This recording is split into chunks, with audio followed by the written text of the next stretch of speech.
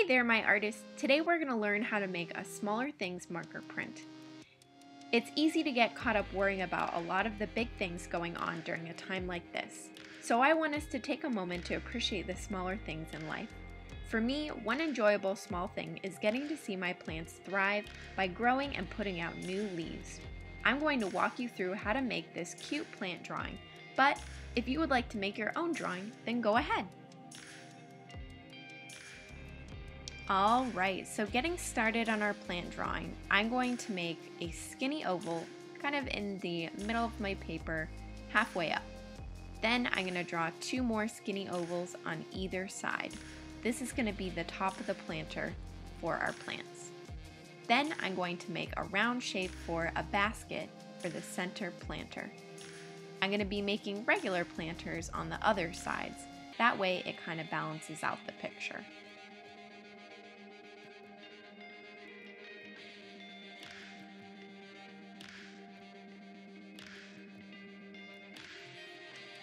All right, so I think I'm gonna start with the middle planter and I'm gonna start by drawing three stems. So the middle stem is gonna go straight up and the other two are going to fan out on either side. So the middle plant that we're drawing is called a monstera and it's known for its large heart-shaped leaves. So I'm gonna be drawing three large heart shapes for my leaves. Make sure that the angles of your leaves match the angles of your stems.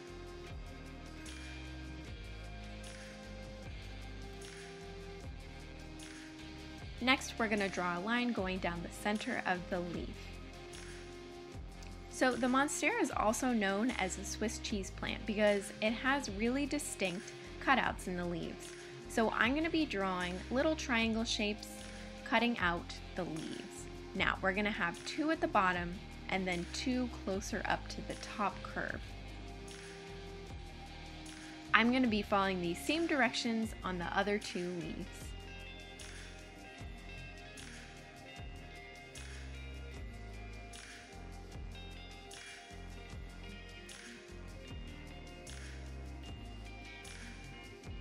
Now moving on to the left planter. I'm going to start this little guy off by drawing four lines coming out of the top of the pot. This plant is going to be a pothos. Similar to the monstera, it also has heart-shaped leaves. However, these leaves are a lot smaller and it's a vining plant, so that means they grow down the pot. To start the pothos, I'm going to draw little heart shapes at the tops of those lines.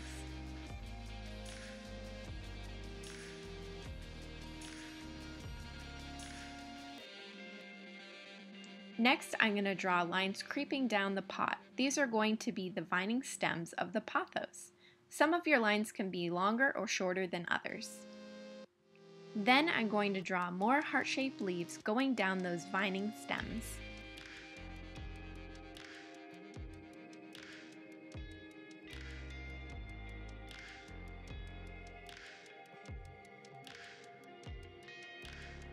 Now on to the last potted plant. Over here we're going to be drawing a pilea. So the pilea only has one stem coming out from the bottom of the pot. It's going to be a little bit thicker, but I'm going to have it tapered up at the top and have it be bigger at the bottom. Then we're going to have little stems coming out from the top. They're going to grow up and out. At the end of these little stems, we're going to be drawing oval shapes with little dots inside. Pileas are also known as money plants.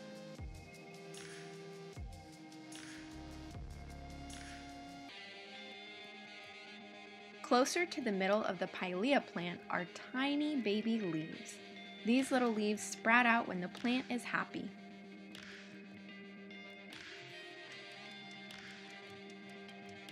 Now I'm going to start adding some details to the planters themselves. I'm going to draw a little lip on this one to make it look like a terracotta pot. In the middle, I'm going to give handles to the basket. Now, I started out making the handles kind of go down at the bottom, but I decided it kind of looked like dog ears and it wasn't exactly what I wanted. So feel free to kind of play around with your designs on your planters and on your pots and see what you like.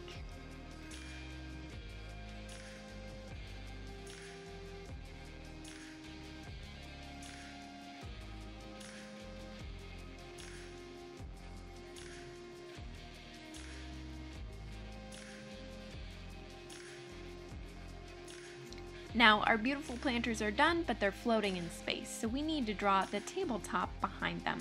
I'm going to have that horizontal line sit up behind the pots so it looks like they're sitting on top of the table rather than falling off the edge. Alright, so this next step is probably one of the most important ones. I'm using a waterproof black marker to outline all of my pencil lines. I'm doing that not only so my lines will look nice and bold, but I'm doing it with a waterproof marker so the marker won't bleed into the water that we're going to be using next. If you use a washable marker, that water will just make it smear and smudge and we do not want that.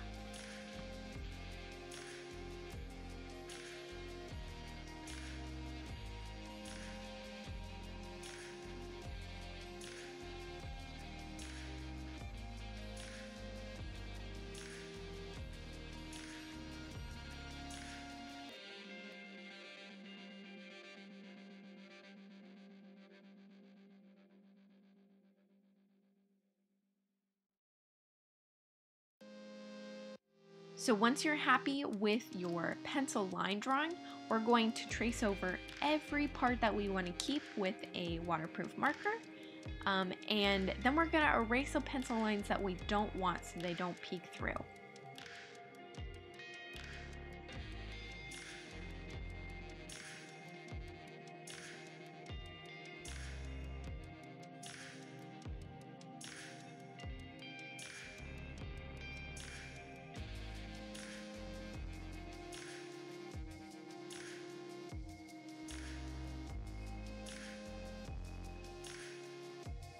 Alright, time for the marker part. We're going to be using a piece of tinfoil that is a little bit bigger than our drawing paper, and we're going to just color on the tinfoil. So I've picked three analogous colors. These are colors that sit next to each other on the color wheel, green, yellow, and blue, and I'm just going to color them in patches, kind of randomly. Um, you can pick whatever colors you want to color, but make sure they are friends. They sit next to each other on the color wheel. If we use opposite colors, they are just going to mix and make brown. And we want to keep our colors nice and bright.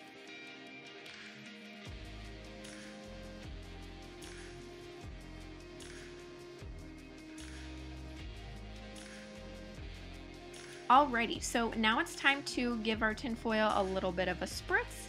This is going to make the color of the marker transfer onto our paper. So once I have a nice little spray going, I'm going to take my picture and I'm going to place it face down on my tinfoil and I'm going to start to press down. So you're going to start to see the water and the marker seep into the paper and I think I'm to add a little paper towel on top that way I don't get marker on my fingers and hands. So you're to rub the back of your paper for a couple seconds or so, and then you're going to peel back the layers. We're to take a look at what we've got.